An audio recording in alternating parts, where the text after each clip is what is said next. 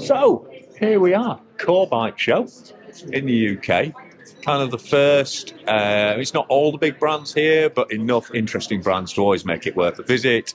And it's kind of the first time we see a lot of products, particularly from UK brands, uh, in the marketplace. So starting off with the Lancashire Lathe Masters, although theoretically it might be in Yorkshire. I've just had an argument about that on uh, YouTube with someone. But anyway, it's Hope Technology. Flagship bike. In fact, the only bike currently, although uh, Alan says they are working on others, the 916. And big details on this are at the back end because we've got a UDH hanger. We've also gained an extra idle wheel in here, which means that it reduces the uh, pedal kickback to almost zero which means it's not likely to rip that rear mech off, which can be a problem with transmission because it's a much more fixed position. If you have too much chain growth in the system, it can actually uh, snap the rear mech or snap the chain. So it's got a new idler in there. Alan says it increases sensitivity of the bike, but it does increase drag slightly. But if you're not running a uh, T-type rear mech, you can actually do away with that idler. And if you haven't noticed, this is their new bronze anodized option. So obviously on this bike, you can have it all through the fixtures and fittings, but it'll also be available in stems, dropper levers, and brakes. Also coming in from Hope, we've got the new TR stem available in a load of lengths, starting at 35 by 35 or even a 31 by 32 mil. So super short. You can kind of almost as short as you get without actually bending the bar, percenti style.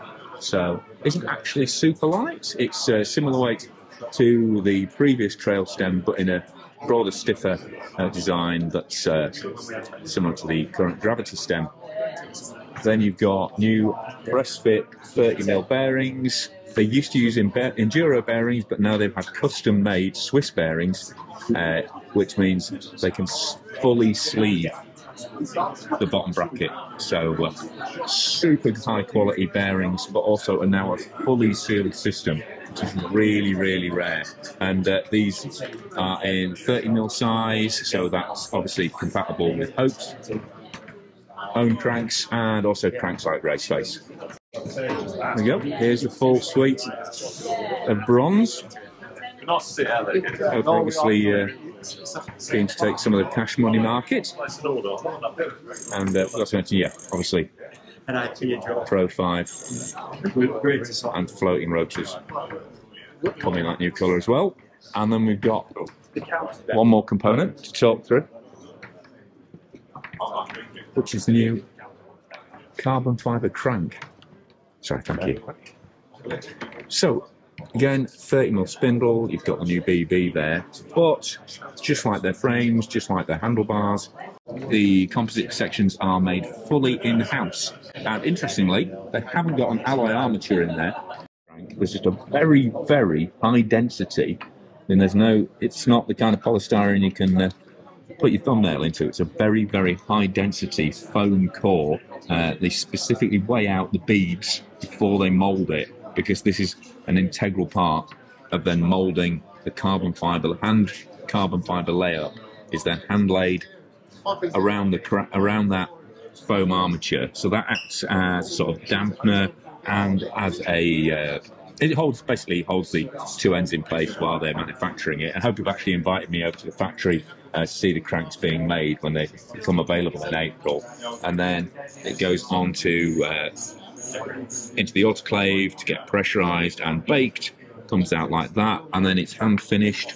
You can see there you've got the slight wave pattern to uh, take the crank inserts and then the pedal insert, rather than that being bonded in, which is always a problem on carbon cranks, is basically you've got the inner section is pulled through into the crank by the uh, tightening of the pedals. So it's a uh, it's a sandwich joint essentially, rather being a bonded joint. So if there are any issues uh, with the pedal thread, you thread it in wrong or anything like that, you could simply and easily replace it. I guess you know you could even uh, change the colour of it if you decide to change the colour scheme on the bike.